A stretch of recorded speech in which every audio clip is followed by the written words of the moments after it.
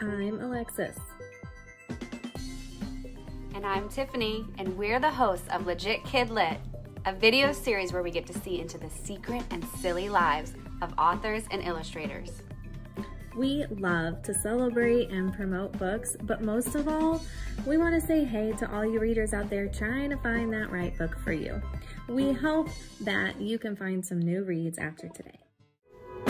Welcome to our very first episode featuring some spectacular picture book covers. We realize there are so many beautiful and amazing book covers out there we couldn't possibly showcase them all. However, stay tuned for more episodes to come. Enjoy!